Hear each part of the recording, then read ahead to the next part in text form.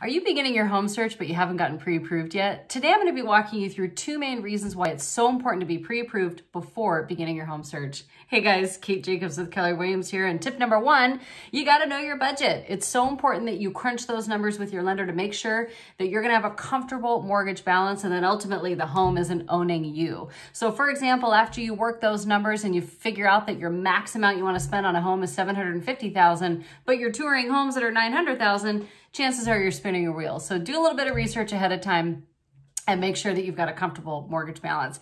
Tip number two, you got to be prepared. There's a lot of other buyers out there that are looking at probably the same property you are, and they are pre-approved and ready to go. So if you find that perfect home and you're not prepared, chances are you're going to miss out. For more information, feel free to give me a call or shoot me a text. You can also email me. And remember, think Kate for real estate.